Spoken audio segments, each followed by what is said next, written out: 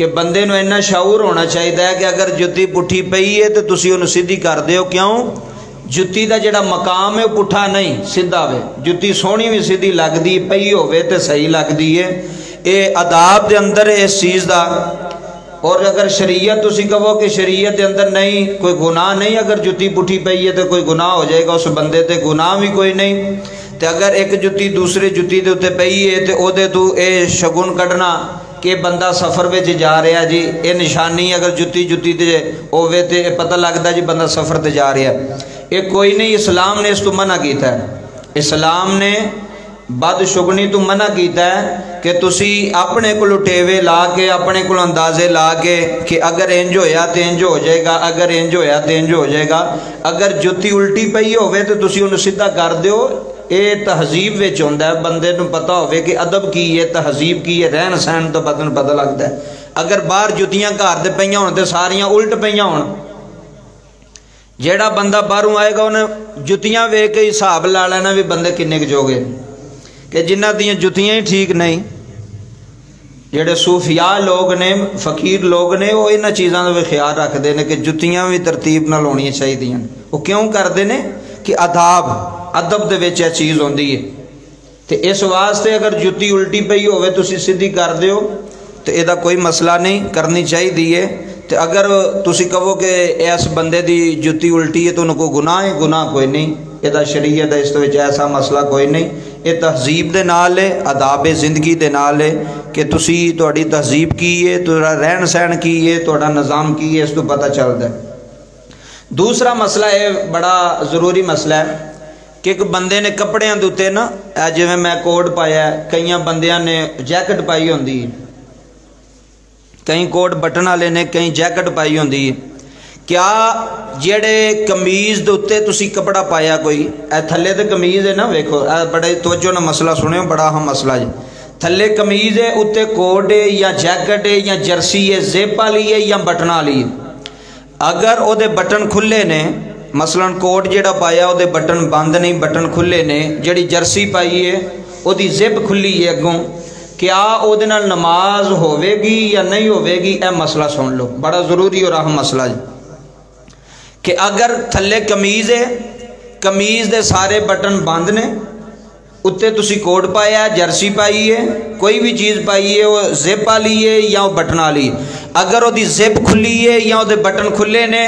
تو تھوڑی نماز میں فرق نہیں پوے گا مسئلہ سن لو مسئلہ کئی بندے کہ جی ان جیکٹ پائیو یار ایزیپ بھی بند کر لے کیوں نماز نہیں آتی جی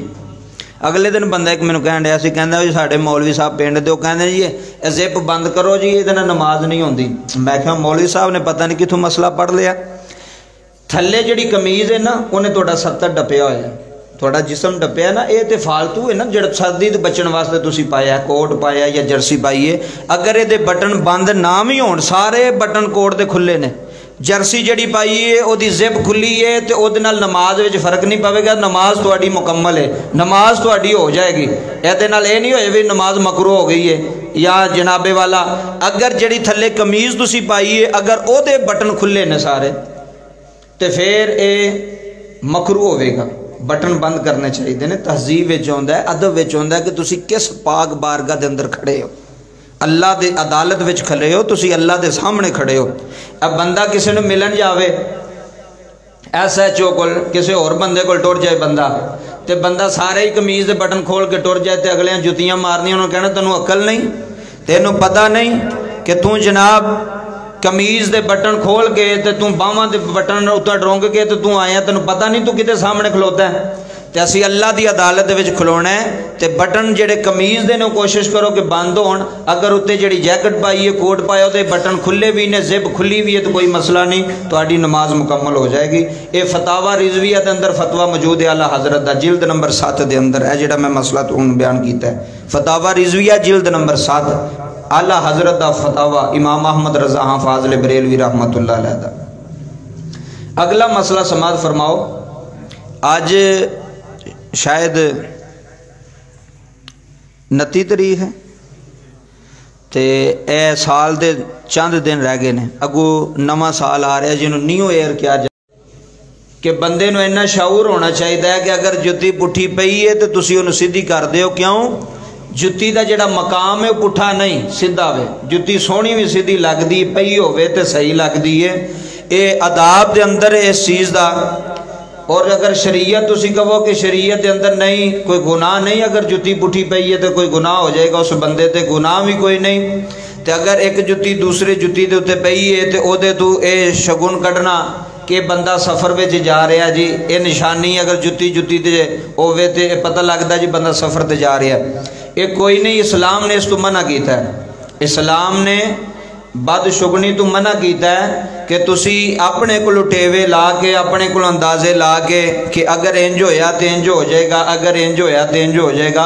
اگر جتی الٹی ہی ہوئے تو تسی انہوں سیدھا کر اے یہ تہذیب چوندہ ہے بندے نو پتا کہ ادب کی ہے تہذیب کی ہے رہن سہن تو پتہ پتا لگتا ہے اگر باہر جتیاں گھر پہیاں ہونے ہو ساریاں الٹ پہیاں ہونے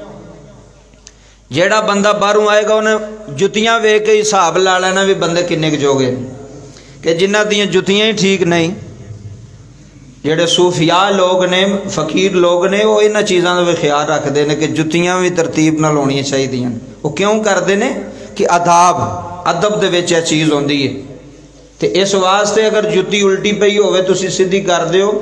ਤੇ ਇਹਦਾ ਕੋਈ ਮਸਲਾ ਨਹੀਂ ਕਰਨੀ ਚਾਹੀਦੀ ਹੈ تو اگر تسی کہو کہ اس بندے دی جتی الٹی ہے تو کو گناہ ہے گناہ کوئی نہیں یہ شریعت ہے اس ایسا مسئلہ کوئی نہیں یہ تہذیب دے نا ہے اداب زندگی دے نال ہے کہ تسی تہذیب کی ہے تو رن سہن کی ہے تھوڑا نظام کی ہے اس تو پتہ چلتا ہے